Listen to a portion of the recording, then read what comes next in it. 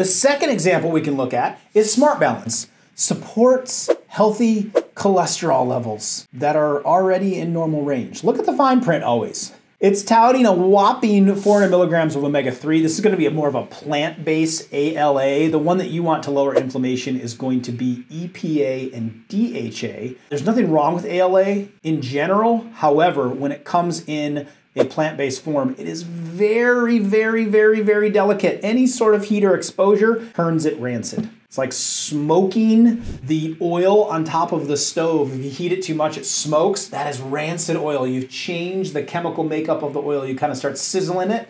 You know, pour that oil out and start over. That's the type of oil that are in these vegetable spreads.